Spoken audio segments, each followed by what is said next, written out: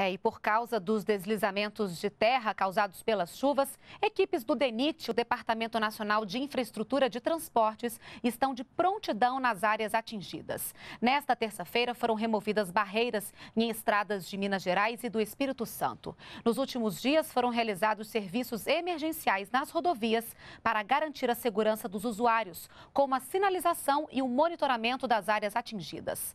Para conferir a situação das estradas, basta acessar o site do DENIT.